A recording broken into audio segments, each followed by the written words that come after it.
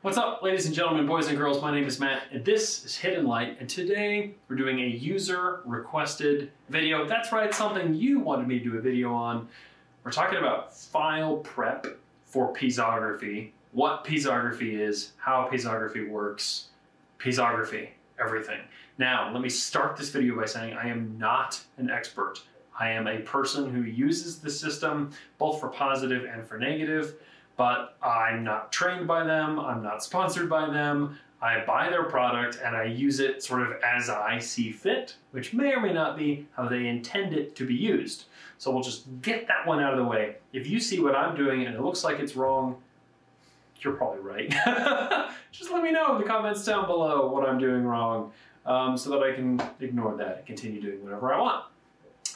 So I've got a series of images. We're just going to load them up here in Lightroom. Look at a couple of the things, trip, and uh, look at a couple of the things that I use um, just to prep files, soft proof, hard proof, and then the actual printing.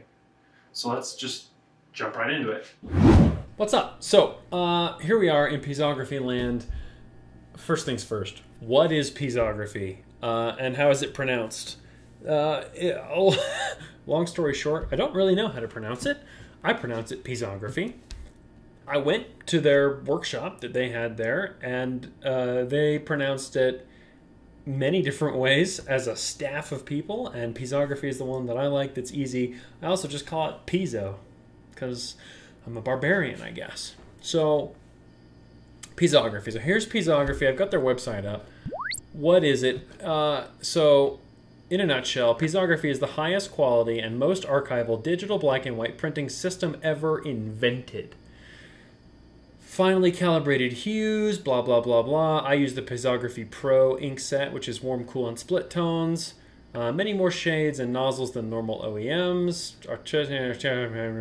Okay, so it's a black and white system that uses all of the channels on your printer for just different shades of gray and with those different shades of gray, you get way more detail. They're also using smaller droplets because an inkjet printer, right, it sprays ink on the paper, basically, yeah? Some inks use rather large droplets. Piezography is going to be using a significantly smaller droplet or whatever measurement of ink. So you get much, much finer detail. Um, so yeah, piezography is awesome. It it includes all kinds of cool things. Go check them out, piezography.com. Again, I'm not sponsored by them. I just use the damn stuff, and it's so good. This is the Piezography Pro section of the website, which is just, I believe, as far as I know, just a regular, like an ink set that they developed that's really freaking good. Um, the pigment, new pigment, curve shaping technology, 1 million toning variations an industry-leading Dmax, and Dmax, for those of you who don't know, is is black. So we measure black and we call it Dmax, and what we're looking for is the maximum amount of black or the lowest reflectance that we're going to get. And so uh, piezography is blacker than most other blacks. Um, and they've got all these cool things. And the reason that I went with Piezography Pro is that you can split tone, which is incredible. So you can do like a standard neutral black and white you can do a warm tone, a cool tone, or you can start split toning between those. So you can do warm neutral, warm neutral shadows, and cool neutral highlights. The neutral shadows, warm highlights one really trips me out. It's like almost color, but not really. Super cool stuff. Uh, this is what got me into piezography to start with. And then from there, I learned that they do negatives as well. We're not talking about negatives today. Today, we're only talking about piezography prints as their own thing, not as a system to create something else, right? Not as a negative, just as a positive print, which is how I started with piezography to begin with. So um, you can get piezography from piezography.com or Inkjet Mall, which is the like um, shopping side of their business. Um, it's made by real human beings right here in the US of A, and they do really good stuff. So we're to get rid of this website Although, guys, uh, uh, Jon Cone and friends, if you're watching this, great new website. Walker killed it. Here's Lightroom. Excuse me. It's the afternoon. I've been talking all day. coffee through a tiny straw. Um, so I've got a couple of images that I have been looking to make piezography prints of, but haven't really given myself the time and space to do that. And I figured this this is a great time to start. So these uh, images are all super high quality, taken on industry leading cam. No, they were taken on my iPhone. Uh, but there's nothing wrong with an iPhone photo, especially if you're not trying to go huge with your prints. Like I'm just trying to make little baby prints that I can either give away or have around the shop or just hang up for grins, right? So here's what we're going to do. We're going to look at some of these files and we're going to see what they look like in black and white. And then we're going to talk about the soft proofing options that Piezography gives you by default, which are excellent. And then how we use those to get a feeling for how the image will look as an actual print, right?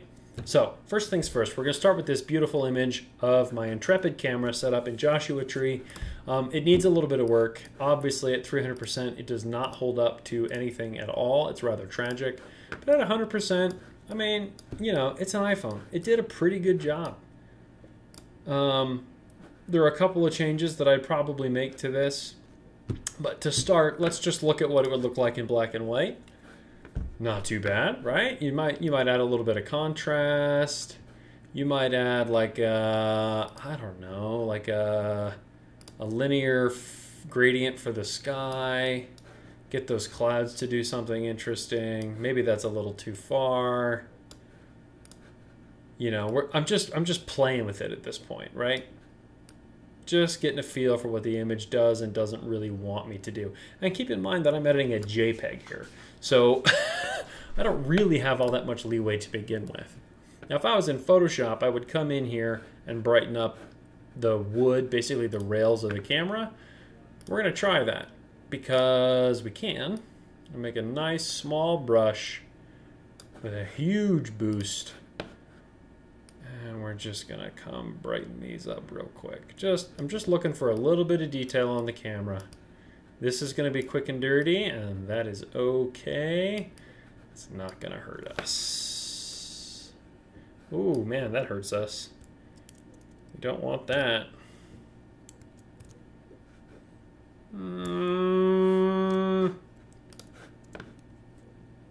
Whoa, that's a big eraser. Make that smaller. Just to erase my idiocy right back out of this flow. That's better. In Photoshop, I would do this like clean and beautiful and easy, but this isn't Photoshop, so I'm stuck with what I got. That's like only a little terrible.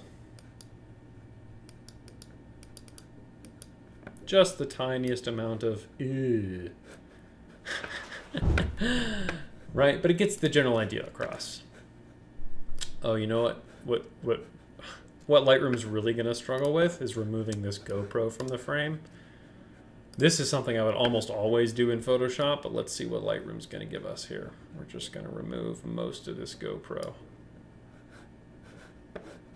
That's not terrible.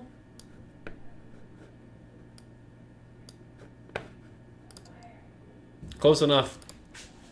I'm into it. Uh, nice. Nailed it. Good job, Lightroom. So, this would be kind of like my first rough cut at this image, right? Um, I'm showing my background border here as white because if we showed it as like a gray, it, it reads totally differently, but of course it's going to go on white paper. So we're going to do like a nice white border. It might have been light gray earlier. This is white, um, which works great for me. That feels really good. So that would be my starting point, right? Just to see, like, does this work as a picture in black and white? And I'm going to go, yeah, it totally does. I'm feeling it. A little bit of black's not going to hurt you. And a little bit of highlight's not going to hurt you neither. I do want. Okay, this is what happens when when when I hang out in whatever a program. I end up just spending all my time working on a picture. So we're just going to brush in a little bit more oomph into the sky here. Not too much, just enough.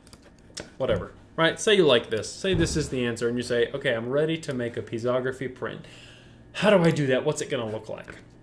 So you want to be in the develop module, and you've already downloaded all your software and things from Piezography, which you get at piezography.com. They've got all this stuff you have to download. You have to have quad tone rip, you have to have a print tool, you have to have all this stuff. They have a like a manual or whatever that walks you through that. But right now I'm just talking about soft proofing. So in Lightroom, in the develop module, there's this little module called soft proofing. So I click this down here, and then there are profiles I get to choose from.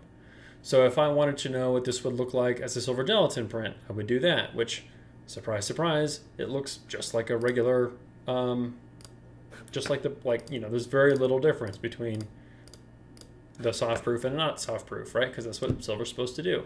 But let's say I wanted to do piezography matte neutral, which is going to be matte finish, which is how I do all my piezography because I don't have the gloss ink set installed, and uh, reasonably neutral in terms of not too much warmth, not too much.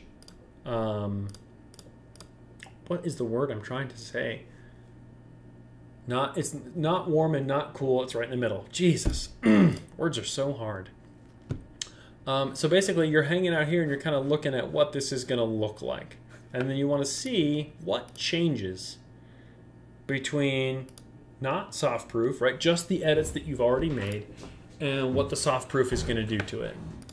Now, I find that telling this thing to simulate paper and ink I can usually get something. This is this is going to give me a low contrast experience.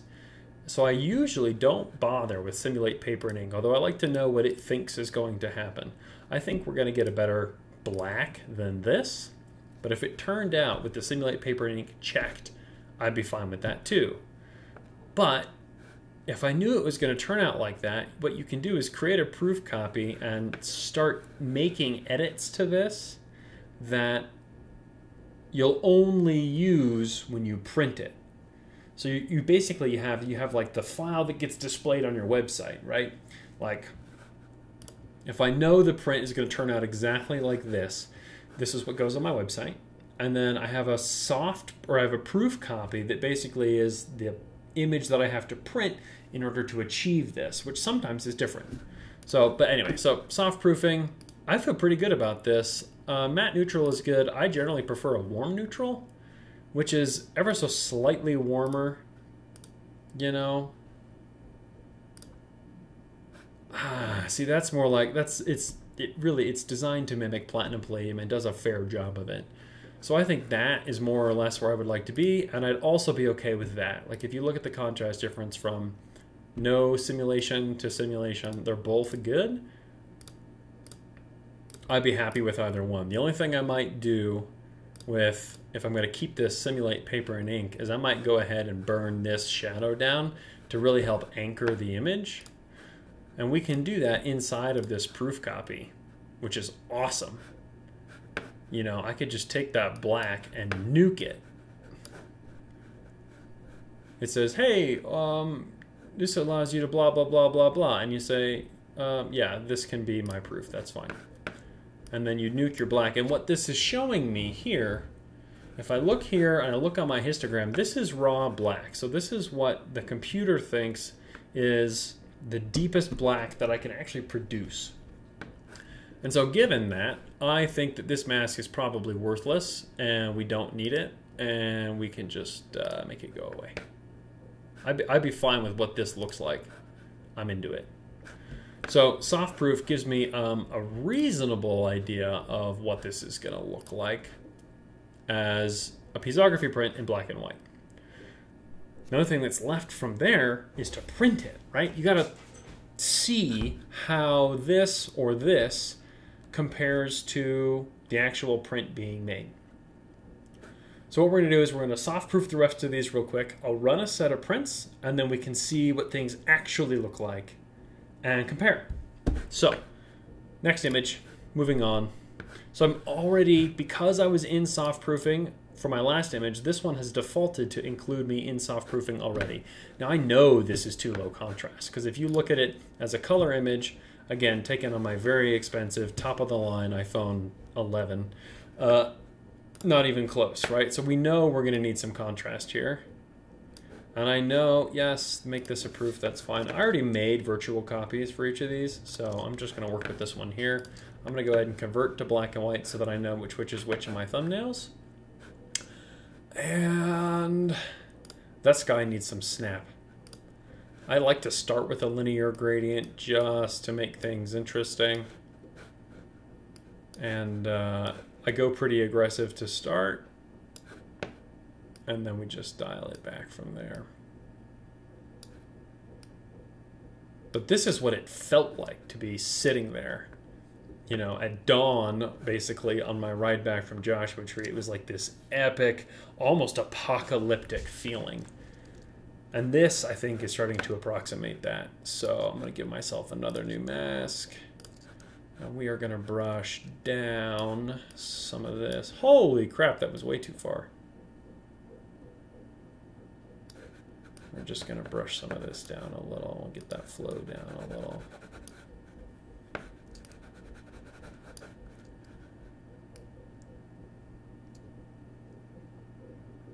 right? Because we don't need some of that detail, just like we don't necessarily need some of this. Brush some of this down a little.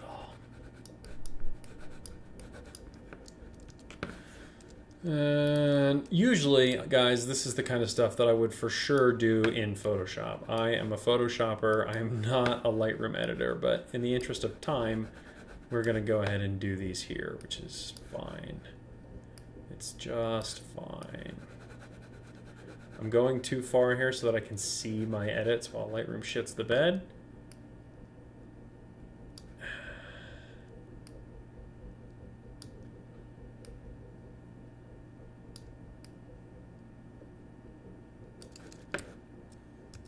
Keep hitting X instead of Option, which is really annoying. Yeah, just getting a feel for what's actually included here. Very interesting. We're going to get rid of this. We don't need it. I'm starting to get a feel for this. We're getting there. We're going to brighten up this bike a little. I want it to be dark, but not too dark. I want it to feel like it belongs. Option, not Alt.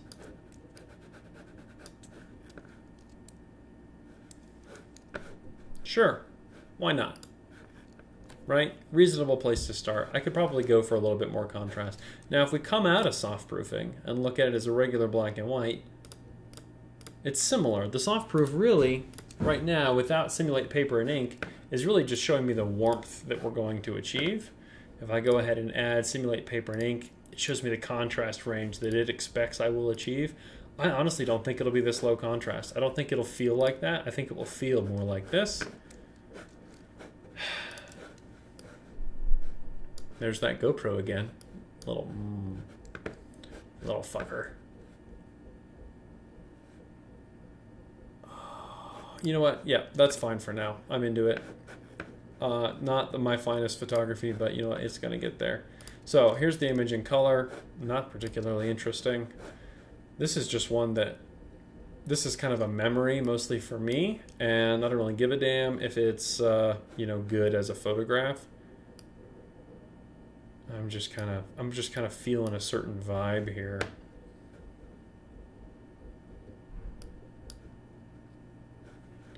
You'll have to forgive the terrible things that I'm doing to this image. So I'm gonna go ahead and jump into soft proof. Give me that that uh, warm neutral vibe I'm looking for.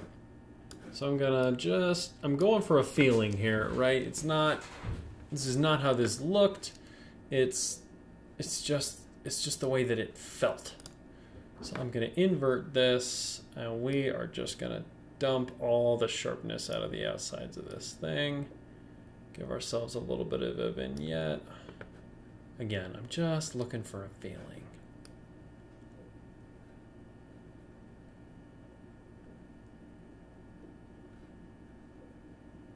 Something like that. That feels pretty good. Okay, good. I love it. I'm into it. So let's look at soft proof.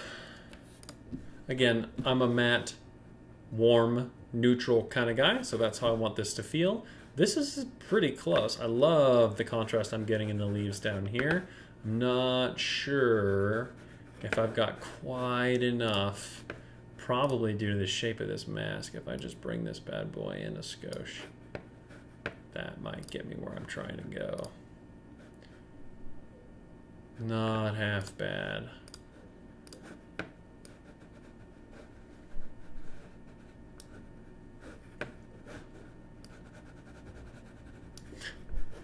Funny, the color overlay on the softproof mode does not work. It looks terrible. But hey, what are you gonna do, you know?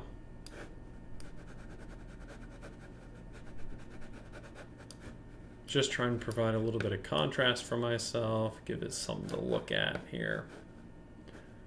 And we'll just dial that back a skosh. Nice, why not? That looks like fine art. So, uh, soft proof, I'm gonna just go through each one of them real quick. So simulate and without simulate, I feel pretty good about either one of those. I'm into it.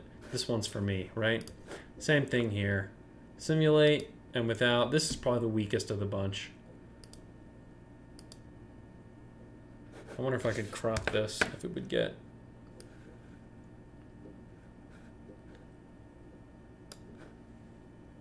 Looking up here to see how my crop preview feels. It takes a lot of the drama out of the sky. And it reads very differently. Eh, maybe. And then this one, right? Much higher contrast. We're going. We're really going for punch in this one. So that is how I prep files for Piezography. So I'm going to open a program called Print Tool, which is what you use when you're printing with Piezography. You'll notice my printers here are all named silly things. Uh, Gimli, who prints in positive, is who we're after today. And we're just going to print these real small. I'm going to hard proof on letter paper to start. That's generally the way that I like to do this. Make a small print like on a 8.5 by 11 sheet of paper so like the print itself is 8 by 10 try that see how it feels live with it for a little while and then go from there so what i'm going to do is i'm going to go through here and i'm going to go ahead and set up my you have to use quad tone rip as part of this program i'm going to go ahead and set up my curves for the correct paper that i'm going to use i'm going to go ahead and use canson rag photographique which is my sort of standard and I do a split between warm and neutral. I typically like an 80-20 or a 70-30 split. We'll do 70-30 today. Sheet feeds. Um, and I'm in a hurry today, so we're going to dial these back, and I'll be able to dial them back up when I decide to like go for it. I'm just going to go ahead and save these. This printer, warm, neutral. So I hit save, it resizes the paper for me. And so what I need to do now is export these images from Lightroom, one, two, three, as TIFFs, right? So we're gonna export these as TIFFs. I have this set to give me Adobe RGB 1998 16 bits at TIFFs. It says it's resizing, but it's really not gonna resize it, and it's not gonna do anything after export. So I'm going to go ahead and put these in a place just on the desktop here. Uh, TIFF, fun, YouTube's. Open. We'll let Lightroom do its thing for 10 seconds. And then we'll go back to Print Tool. And I'll load each one of these images up one at a time and make prints. I'll just show this because we're here and we might as well. So TIFF on YouTube's, let's start with the best one first. I'm going to load it into print tool here. And I'm just going to go ahead and resize it to something that makes sense so that it um, doesn't cut off the image. And I'm actually going to do standard letter instead of lettered centered. Letter, letter, letter centered. Ugh, whatever. I'm into that. Let's call it 7 by 9.3. That's better. Um, we turn off our color management here. That's super important. when we're putting on the Piezography printers. And these are JPEG, so I'm not going to worry about sending 16-bit data on these. And I'm not going to worry about high speed, resolution, whatever stuff. I'm just going to run it. So you'll see that this looks reasonably high contrast to start, like almost too high contrast, which is kind of what we want. And now the printer kicks on, and it sounds like an aircraft carrier's going. So we'll just um, come back to this when the image is finished. Sound good? Okay, so great success. I would say this print looks perfect. It's it's not quite as dark as it looks here. It's not Oh man, that's tough.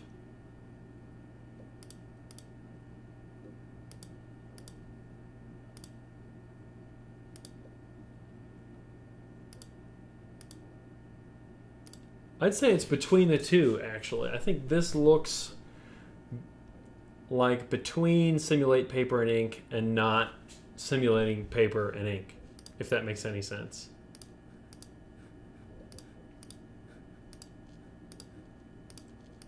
It's close. The detail on the rocks is incredible, actually. But the, the contrast range is kind of between the two, is what it feels like in this light, right? Which is just tragic, random top down lights in my office. But yeah, that's it. That's that's how you prep a file for Piezography and know more or less what it's going to look like. It's close. If I go out and put this in proper gallery light, it would probably look brighter, more like I have simulate paper and ink checked.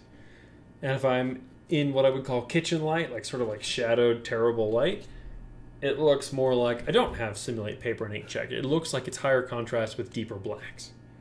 So it really depends on the light that you're looking at the print in. But yeah, I mean, that's it. That's how you do it. That's how you prep it. I'm going to do a couple more of these because we're here and we might as well. And it's really easy. All I have to do is find where those images are, drag and drop to replace them. We'll do the not motorcycle one next here. So you just drag and drop we said we were doing these seven inches. Get rid of the first one. And then hopefully saved all my settings, which it has. And I just hit print. And of course there's this cool new feature where Epson printers freak out on Apple operating systems and you have to tell it that this print job, which is the one we just made, it says it stopped and it's failed. That's not true. It printed fine. So now all I have to do is load a sheet of paper. We're set.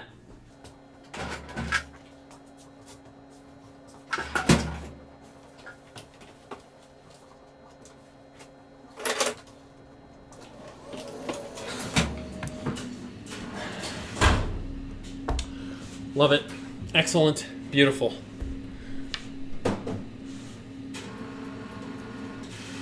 crushing it. Anyway, um, don't mind the uh, aircraft carrier taking off. That's pretty much how you do it. That's printing in Piezography. It's really not that hard. It's just tough enough uh, that like getting it set up is kind of a pain and it's a little difficult. But once you get it set up and you understand how your profiles work and where your printers live and what, what they're really going to look like and how to deal with the color management, you're set. Yeah, if you've got a printer that you need to convert to Piezography, you can do it yourself. Uh, only certain printers are accepting, uh, capable of accepting Piezography inks. They've got a list on their website. There are links below. Go check them out.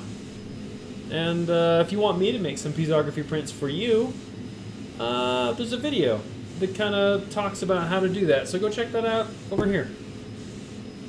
Until then, we'll see you in the next one.